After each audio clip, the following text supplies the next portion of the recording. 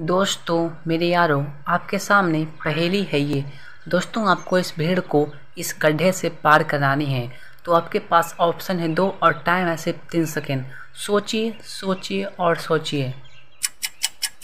एक काम करते हैं, हम देते हैं पटरा ताकि जो गड्ढा के ऊपर से बकरी यानी कि भीड़ पार हो जाए। और ये क्या, भीड़ पार हो गई? और दोस्तों, अगर आपको पहले अच्छा लगा तो आप मेरे चैनल को सब्सक्राइब कर सकते हैं और वीडियो को लाइक कर सकते हैं। दोस्तों, ये चैनल आप ही का है, आप ही के मन से आप पहले हम पोस्ट करेंगे। आप लोग जो मुझे कम्युनिटी पोस्ट पे हम पोल करेंगे, आप किस को कौन सी पहले आपको पोस्ट करनी है?